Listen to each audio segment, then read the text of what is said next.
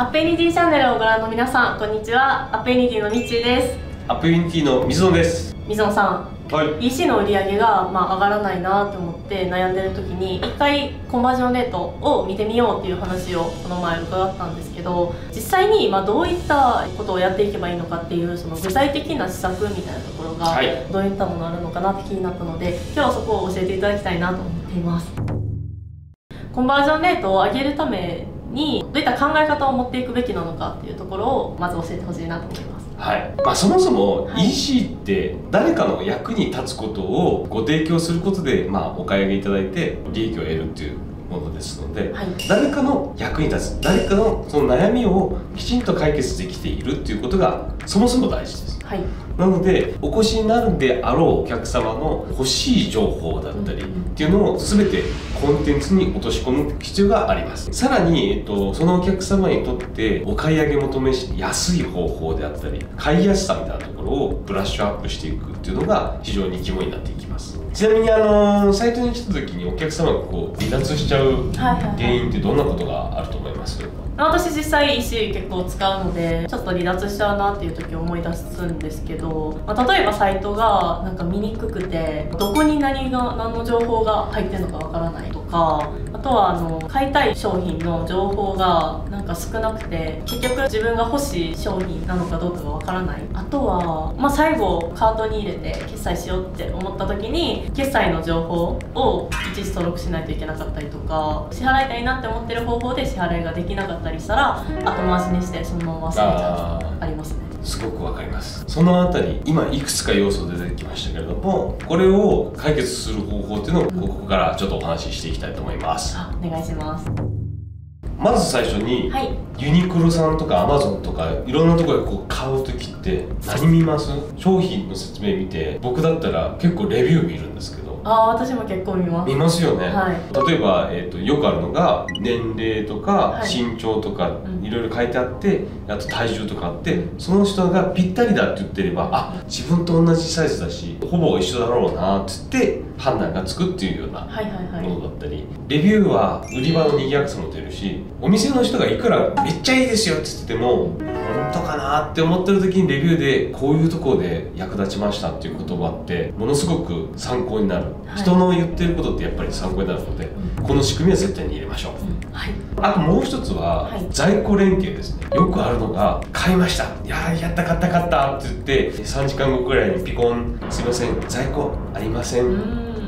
これ昔よくあったんですよ。はいはい。最近だいぶ激減してると思うんですけどいろんなあのアプリケーションとかサービスが出てきててあの減ってるんですけどそれでもやっぱりある。ということで店舗と EC の在庫を一元管理できるアプリケーションっていうのもございますのでこれによってお客様のがっかり感っていうのを減らすことができます。それもおすすめのアプリあるんですか？はい。まあいくつかあるんですけども一番わかりやすいところで言うとロジクラっていうアプリがございます。このロジクラってアプリケーションを入れれば EC で、えっと1個売れた。そしたら、えっとこっちがマイナス1個で店舗でも売れた。そしたら適切なアプリケーションの構成していればきちんと両方減っていくみたいな感じで。で戻ってきたらまたちゃんとプラスになると。かいうような仕組みになってるのでぜひご利用いただければなと。で次高額な商品買う時って、はい。これ壊れたらどうしようとか思うことないですか？あめっちゃ思います。思いますよね、はい。iPhone とかもそうですけど、まあ、いろんな高額な商品を買おうとする時って心配なことがいっぱいあると思うんですけど、はい。延長保証をつけられる方がやっぱりコンバージョンレートは明らかに上がります。安心感があって買おうっていう気になってきますよねなんかそういうのでいいサービスとかってあるんですか？はい。Shopify のところに簡単に組み込めるアプリケーションとしておすすめなのはえプロテジャーっていうアプリケーションになります。プロテジャーっていうアプリケーションは基本的にはメーカーの保証に準じた内容が保証されるようなものになってるんですけど例えば延長保証2年にしたい3年にしたいみたいな仕組みもあるなので特に高額な商品だったり家電だったりそういう商品に関してはこのプロテジャーというのを入れておけばお客様がちょっと安心して購入いただける。さらにそれを使い続けることによってやっぱりここで買った体験って良かったなっていうところでライフタイムバリューも上がっていくので非常におすすめだと思いうことでもう一個コンバージョンレートを爆上げすることができるのが後払いですね。後払いって使ったことあります？後払いはありますあります。はい。分割とか？あそうですね。分割ではいよく払ってます。はい、例えば後払いで金利ゼロで使えるって言ったら結構高額な商品だったらだいぶ後押しになると思うんですけれども、はい。例えばギターとか MacBook とかいろんなものがあると思うんですけどそういうのを、えー、とつけるためのアプリケーションっていうのもありますちなみにどういったものがあるんですか？はい。アプリケーションとしては NP 後払いであったり PayD であったり、まあ、そういうものがございますので比較検討いただければなと思います。はい。続きましては EFO もしくは PLO とかあるんですけど、はい。これって何の略か分かります？EFO はエントリーフォーム最適化そうですね。PLO はランディングページ最適化、そうですね。まあオプティマイゼーション最適化の略なんですけど、はい。よくある EC サイト。ちょっとお歴史のあるような小売さんがやるサイトとかだと謎にニックネームを入れれてください。